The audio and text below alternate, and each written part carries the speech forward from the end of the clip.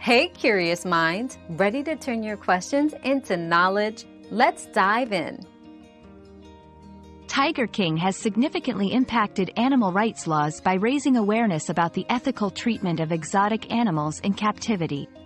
The widespread attention from the series led to increased public pressure on lawmakers, resulting in legislative actions such as the Big Cat Public Safety Act, which aims to limit private ownership of big cats and restrict their use for profit. This shift reflects a growing societal concern for animal welfare and a push for more stringent regulations. Another mystery solved, but many more await. Keep up with our daily discoveries by subscribing and turning on notifications.